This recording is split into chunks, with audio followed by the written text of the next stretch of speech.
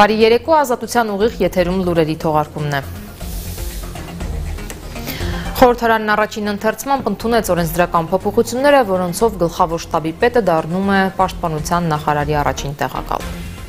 Քվեարկության է դրվում կառավարության կողմից ներկայացված պաշտպանության մասին օրենքում փոփոխություններ եւ լրացումներ կատարելու մասին եւ ինքից ներկայացված օրենքների նախագծերի փաթեթ առաջին ընթերցմամբ ընդունելու մասին հարցը քվեարկություն Կողմ 55 դեմ 0 ձեռնպազրով որոշում ընդունվել է Օրենսդրական փոփոխությունների նպատակը ըստ կառավարության բանակի ղեկավարման արդյունավետությունը բարձրացնելն է։ Հայաստանն արդեն 5 ամիս է զինված ուժերի գլխավոր շտաբի պետ չունի։ Իշխանությունից հայտարարում են կնշանակեն միայն օրենքի այս փոփոխություններից հետո։ Նիկոլ Փաշինյանի իշխանության տարիներին գլխավոր շտաբի պետերը փոխվել են արդեն 4 անգամ։ Պատերազմի ժամանակ գլխավոր շտաբը ղեկավարած Օնիկ Գասպարյանը Փաշինյանի հրաժարականներ պահանջել, ինչը վարչապետը որակել էր ռազմական հեղաշրջման փորձ։ Օրենքի փոփոխությունը նպատակ ունի կանխել նաև նմանատիպ դեպքերը պնդում են իշխանականները, իսկ ընդդիմադիրները, որ չեն մասնակցում քննարկումներին, կարծում են, որ այս նախագծով գլխավոր շտաբի պետի պաշտոնը քաղաքականացվում է։ Խմբագրվում եւ հստակեցվում են պաշտպանության նախարարության եւ զինված ուժերի գլխավոր շտաբի ու պաշտպանության նախարարի ու գլխավոր շտաբի պետի լիազորությունների շրջանակը։ Այդ առումով զինված ուժերի ապահովումների գործընթացում պաշտպանության նախարարությանը վերապահելով բոլոր տեսակի նյութատեխնիկական միջոցների, պարեստային տնտեսությունների կառավարման եւ կենտրոնացված բեռնափոխադրումների կազմակերպման գործառույթները զինված ուժերի կարիքների համար գնումների գործընթացների իրականացման ամբողջ համալիրը։ Զինված ուժերի գլխավոր շտաբի պետն ի պաշտոնե նախատեսում է որպես պաշտպանության նախարարի առաջին տեղակալ, որը սակայն չի հանդիսանալու պաշտպանության նախարարին փոխարինող պաշտոնատար անձ, ինչպես նաև Այդ կապակցությամբ համապատասխան առանձնահատուկ կարգավորումներ են կատարվում նաև պետական կառավարման համակարգը կանոնակարգող մի շարք այլ օրենքներում։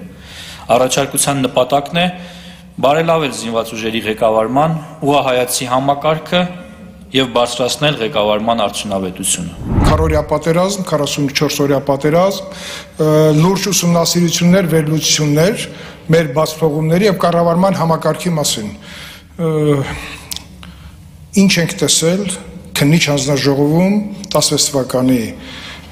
ուսումնասիրման արդյունքում եւ եզրակացության մեջ դա նշված էր կառավարման բովանդակության իսպար խզում պաշտպանության նախարարություն նախարար գլխավոր շտաբ անհամատեղելիություն անկառավարելի գուցե որոշումներ կայացնելու տեսանկյունից եւ բնականաբար այդ նույն բանը տեղափոխվեց 44 օրյա պատերազմ, այն ինչ որ մենք հիմա նայում ենք որոշակի փաստաթղթերի մեջ նույն բանը տեսնում ենք եւ կարծում եմ որ այս նախագիծը այս փաթեթը տալիս է դրա լուծումը, որ ասեմ որ այս փաթեթը իրոք դասեր քաղելու փաթեթը, ես չեմ ուզում դետալների մեջ մտնեմ, որտեղ սխալա, որտեղ ճիշտ է, ինքը լուծում է կոռուպցիայի հնարավոր դրսևորումների խնդիրը, որը մենք արկա էր, որտեղ գլխավոր շտաբը զինվորականությունը տրված էր նաև տենդերների մասնակցության հնարավորություն այսօր այս նախագծով ամբողջ process-ը զինվորականությունը կզբաղվի զինվորական գործերով, նախարարությունը կզբաղվի այդ ամբողջի քաղաքական կառավարման ճիշտ օրակարգ ձևով։ Հարգելի գործընկերներ, հիմա մենք կես ժամանոց ընդմիջման կգնանք, իսկ եթե մեր ընդդիմադիր գործընկերները ինձ լսում են, գուցե արտասահմանից, առաջարկում եմ այս կես ժամն օգտագործել արտասահմանից չէ իհարկե, բայց եթե մոտակայքում են գան եւ պաշտպանության մասին օրենքում փոփոխությունների նախագիծը քննարկեն, որովհետեւ կարծում եմ դա մի թեմա է, որը պետք է մտնի իրենց օրակարգ։ Շնորհակալություն։ Հայաստանի ռազմական գերատեսչությունը հայտնում է, որ Ադրբեջանի պաշտպանության նախարարությունը հերթական անգամ ապատեղեկատվություն է տարածել հայտարարելով, թե նախորդ գիշեր Հայաստանի զինված ուժերը կրակ են բացել հայ-ադրբեջանական սահմանի արևելյան հատվածում տեղակայված ադրբեջանական դիրքերի ուղությամբ։ Ըստ հայկական կողմի իրադրությունը Ադրբեջանի հետ սահմանին հարաբերականորեն կայուն է։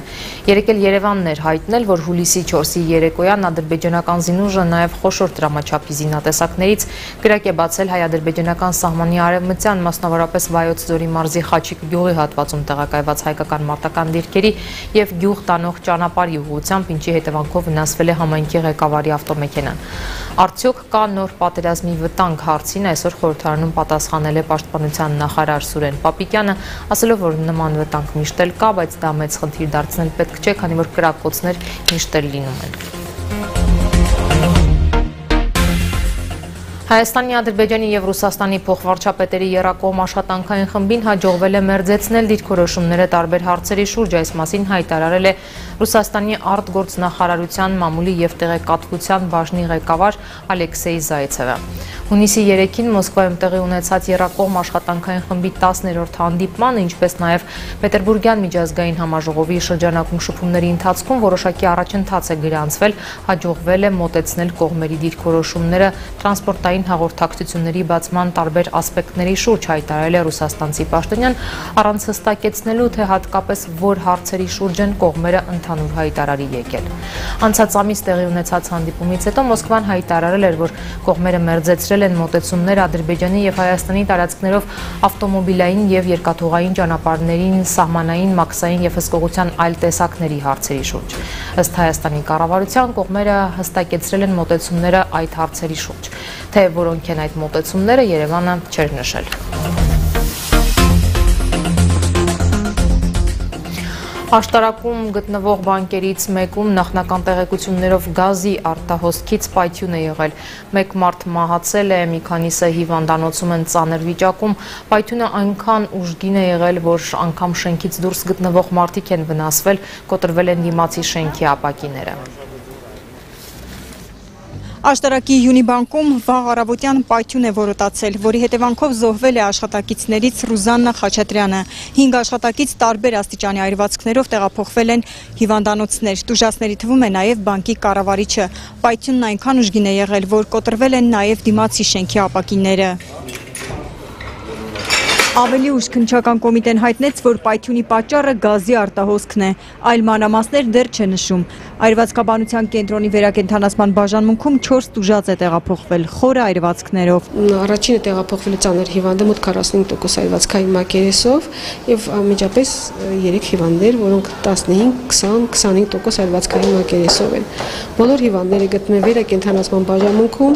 որովհետեւ բոլորին ախտորոշվել է վերին ինհալացիոն այրվածք։ Հրդեհը բռնկվել է, երբ առավոտյան աշխատակիցները բանկ են մտել ժամը 9-ի սահմաններում։ Արմեն Մինասյանը, որ կնոջ կնոջն է ուղեկցել աշխատանքի, պայթյունի պահին շենքի մոտ է եղել։ Ապակու կտորներից նրա ճակատն է վնասվել, կնոջ մազերն են վարվել։ Ապակու կտորները գլխից թափվեցին, այդպես վնասվեցի։ Չէ, ես այդտեղ եմ կնոջս գործի բերեցի, այդ ընթացքում այդ պայթյունը հնչեց։ Բանկի ես դրան առաջի։ Պայթյունն եղավ, ես շրջվեցի, բոցը տվեց, երեսս խանձեց։ Ոչ դրանից հետո էլ բոց չեմ տեսել բոցի ուդարն էր որ խփեց դեմքիս։ Բանկ մտան ժողովուրդը, պայթունը լսվեց ու ժողովուրդը թափով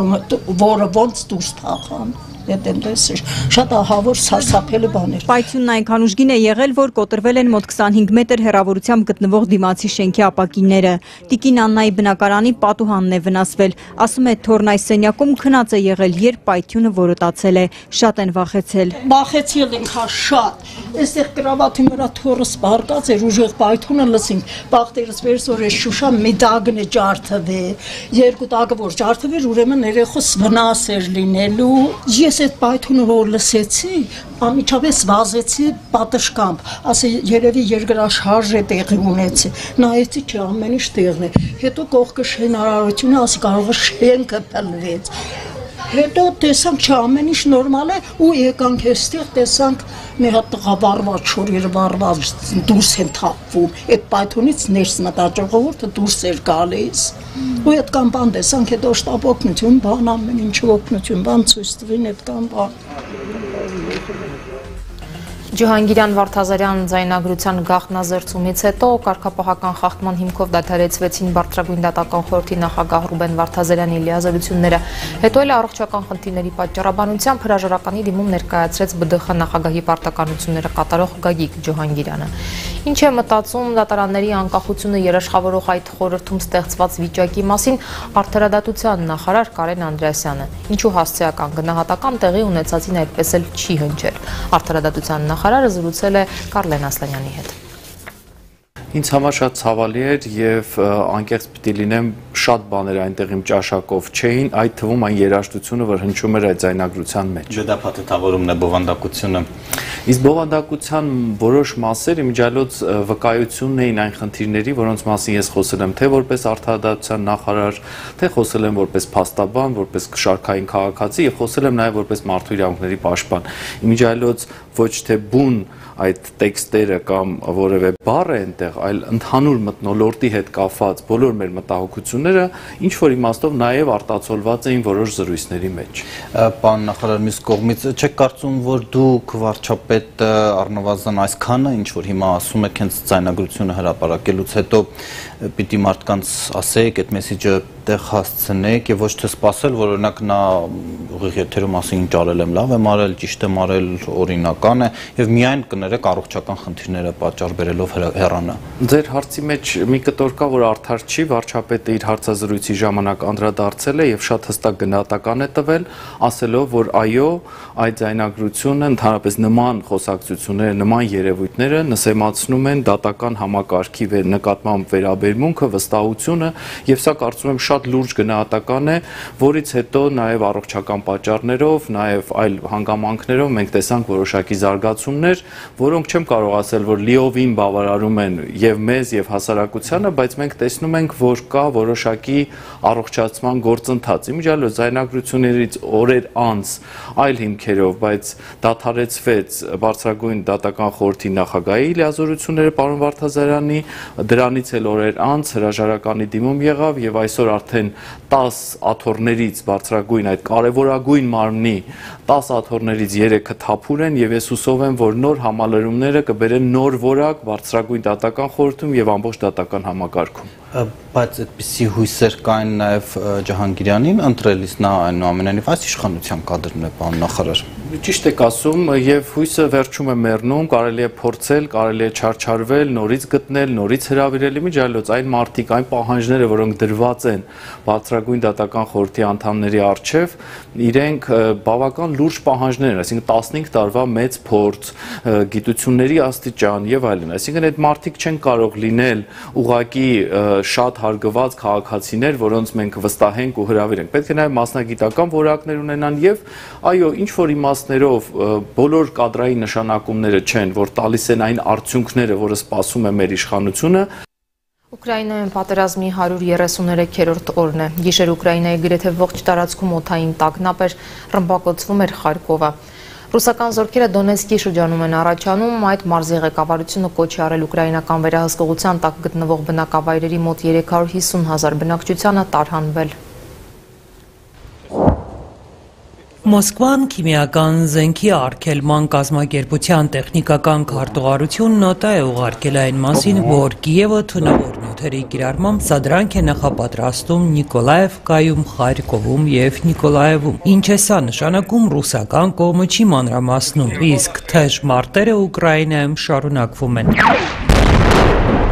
Այս գիշեր Ուկրաինայի գրեթե ողջ տարածքում հայտարարվել էր օթային հարձակման տագնապ, նույնիսկ հարաբերականորեն անվտանգ համարվող արևմտյան շրջաններում։ Չնայած ռուսական ուժերի ինտենսիվ հարձակողական գործողություններին տարբերություններով ուկրաինական զորքերին հաջողվել է հետ մղել ռուս զինվորականների գրոհը Սլավյանսկի շրջանում եւ Խերսոնի մերձակայքում։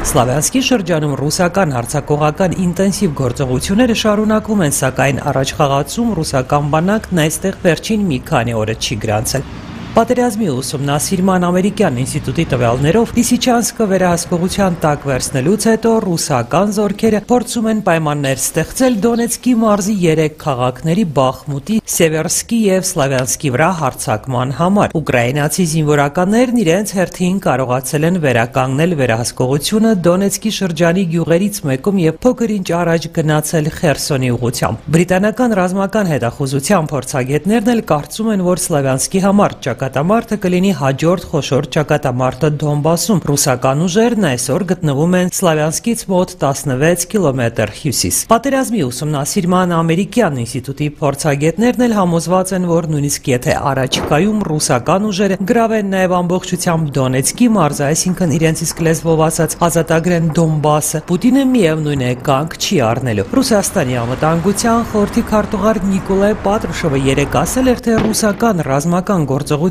Ուկրաինայում կշարունակվի այնքան ժամանակ, քանի դեռ Ռուսաստանը չի հասել իր նպատակներին, եւ այդ նպատակները թվարկելիս կրկնել է Վլադիմիր Պուտինի փետրվարի 24-ին արած հայտարարությունը, այսինքն խոսել է նորից դենացիֆիկացիայից եւ ապա ռազմականացումից, ինչպես նաեւ Ուկրաինայի չեզոք կարգավիճակից։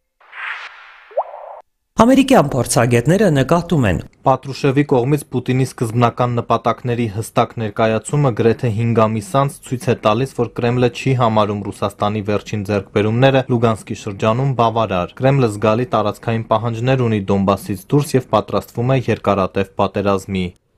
Վերջին օրերին մասնավորապես ավելի ինտենսիվ են դարձել Խարկովի ռմբակոծումները, մինչև պատերազմը մեծամասամբ ռուսալեզու բնակչություն ունեցող Խարկովի քաղաքապետ Իգոր Ցերեխովը ազատության ռուսական ծառայության եթերում նկատում է, թե ռուսների նկատմամբ ամենալոյալ քաղաքներից մեկը դժվար թե պատերազմից հետո այդպիսին մնա։ Российские агрессоры не оставляют город Харьков в покое и Ռուս ագրեսորը հանգիստ չի տալիս Խարկովը։ Ամեն օր մենք ունենում ենք մի քանի գնդակոծություն, ռմբակոծություն եւ իհարկե գլոբալ ավերածություններ։ Քաղաքում չկա մի տարածք, որը լիովին անվտանգ է։ Այսօր առավոտյան ժամը 4-ին ավերվել է եւս մեկ դպրոց։ 110 դպրոց massամբ ավերված է։ Պատկերացրեք այս թվերը։ 110 школ. Вдумайтесь в это в эти цифры. Խարկովի քաղաքապետը հավելում է, թե Ռուսաստանի սահմանի մոտ գտնվող քաղաքը անընդհատ ռմբակոծվում է եւ այս պայմաններում ռուսների հետ ընկերության մասին խոսք լինել չի կարող։ Այսօր քաղաքապետի խոսքով Խարկովի բնակիչները ռուսների նկատմամբ ավելի ռադիկալ են տրամադրված, քան կենտրոնական կամ նույնիսկ արևմտյան Ուկրաինայի բնակիչները։ Տերեխովի խոսքով նրանք սեփական մաշկի վրա են զգում այս պատերազմի ողջ սարսափը, նրանց աչքերի առջև զոհվում են նրանց հարազատներն ու հարևանները։ Դե իսկ պատերազմի ավարտը դեռ չի երևում։ Պատերազմող երկու երկրները բանակցությունները վերսկսելու մասին այսօր չեն խոսում, ավելին նույնիսկ Թուրքիան այսօր չի խոսում ռուս-ուկրաինական նոր բանակցություններ կազմակերպելու մասին։ Թեհրանն ու Բաքուն պայմանավորվել են կարճ ժամկետներում ավարտին հասցնել ադրբեջանա-իրանական սահմանին հիդրոէլեկտրակայանների շինարարությունը։ Այս մասին հայտարարել է Ադրբեջանի էներգետիկայի նախարար Փյարվիզ Շահբազովը։ Փոխանցվում է, որ ավելի քան 1.6 միլիարդ խորանարդ մետր ընդհանուր հզորությամբ այս հիդրոհանգույցները թույլ կտան Ադրբեջանին եւ Իրանին համատեղ օգտագործել սահմանային Արաքս գետի ջրային եւ էներգետիկ ռեսուրսները։ Այլ լուրերի մասին ամփոփ տեսաշարով։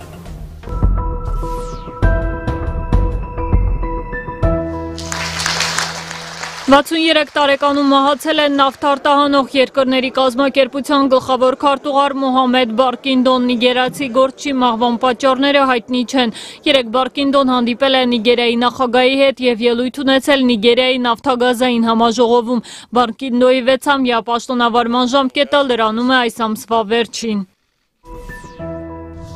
Իրանի միջուկային հարցերով Միացյալ Նահանգների բանագնաց Ռոբերտ Մալին հայտարարել է, որ օրերս Դոհայում կայացած բանակցությունների ժամանակ Թեհրանը նոր պահանջներ է առաջ քաշել, որոնք կապ չունեն իրանական միջուկային ծրագրի հետ։ Ամերիկացի դիվանագետը մանրամասներ չի հայտնել։ Միացյալ Նահանգների եւ Իրանի միջև Քաթարի մայրաքաղաքում Եվրամիության միջնորդությամբ տեղի ունեցած երկօրյա բանակցություններն ավարտվել են առանց որևէ էական առաջընթացի։ Բանակցությունների նպատակն է վերականգնել 2015 2015 թվականի համաձայնագիրը Իսլամական Հանրապետության միջուկային ծրագրի շուրջ, ըստ որի իրանական կողմը պետք է սառեցնի իր միջուկային ծրագիրը, իսկ արևմտյան երկրները չեղարկեն պատժամիջոցների մի մասը։